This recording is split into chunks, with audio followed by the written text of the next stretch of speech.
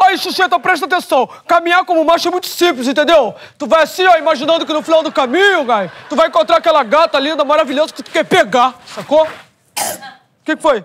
Ai, engasguei com a gata no final. Não posso colocar um boy, não, gente? Ah, não. Não gostei dessa caminhada. Deu Olha, até paralisia na minha perna. Olha aqui, ó. Tu só vai, ó, no ritmo da masculinidade, entendeu? No arranjo do macho. Pá, tá. Que no caso, né, linda? É? Você tá todo desarranjado, né? Foi. Porque essa caminhada aí parece que você tá toda cagada de bosta.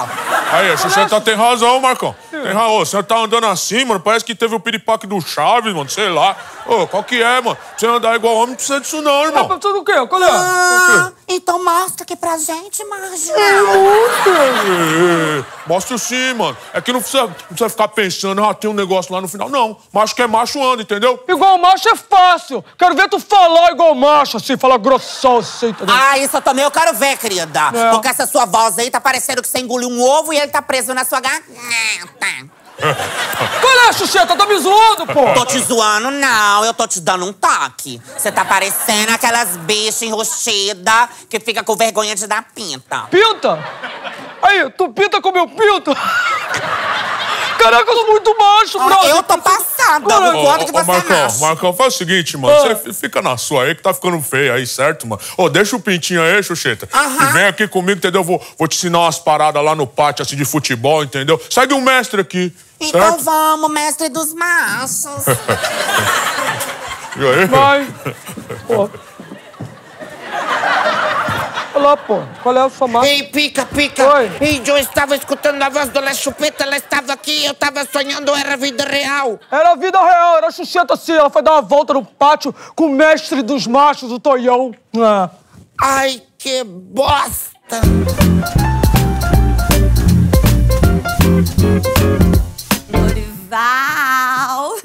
Sinceramente, eu desisto. Não é brincadeira, não é mais fácil deixar o, o Matusalém ídolo do crossfit do que transformar Xuxeta em homem. Aquela ali, onde pisa, nasce o arco-íris, ela peida, sai glitter. Ah, mas essa é- é- vale a pena, né, esse sacrifício, porque ser pai é uma dádiva. É uma dádiva. Ser pai realmente é uma dádiva. Ai, eu adoraria também ser mãe de gêmeos. Não, não, quadrigêmeos. Eu apoio, sabia? Você tá na, na, nos trinque.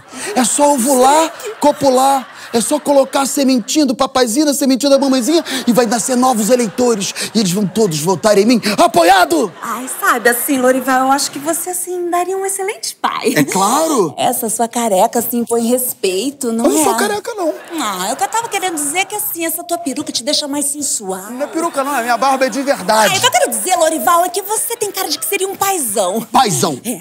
Essa é a palavra. Aliás, quem você vai escolher pra ser o, o paizão dos seus filhão? Você. Ah,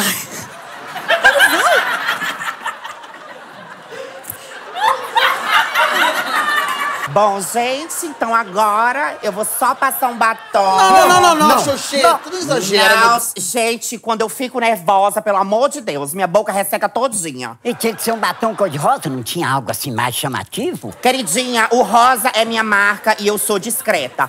Bom, gente, olha pra mim. Como é que eu tô? Tá super discreta, tá uma mistura de Pedro de Lara com o próprio Pedro de Lara mesmo. Não me estressa, não me estressa. Se eu me estressar, vai ser babado, hein, Calma, querida? Xuxeta, calma, calma. Não vai se desarrumar. Você tá todo linda, lindo, linde, linde. Lindo. Ai, eu adoro seus conselhos, ama. Você é tipo mamãe pra gente, Eu, né, imagina, bicha? imagina. Daquelas mamamonas nona italiana, sabe? Dos bração roliço, de tanto bater massa de pão. Tá bom, Xuxeta, obrigado. Eu também sou bom nisso. Ah, não fica com ciúmes, não, vó. Eu também adoro seus conselhos. Então, siga o seu coração. Isso. Isso, Xuxeta, sabe por quê? Porque os laços que unem uma mãe, um pai, um pai com seus filhos são muito fortes. Chupeta, chupeta, por favor, para, eu estou atrás de tu faz tempo. Dona Maria, para de me acompanhar que eu não sou sua novela. Ei, por Deus, por favor, eu preciso falar contigo. Mas agora eu não tenho tempo pra você, querida. Ei, por favor, Chupeta, eu tenho um recado importante da Mami Muda. Mami muda! Recado de mami muda, querida. Começa na Páscoa e termina no dia de finados comigo morta de tanto esperar. Por Deus, Chupeta, por que não queres me dar ouvidos? Meu ouvido, minhas regras.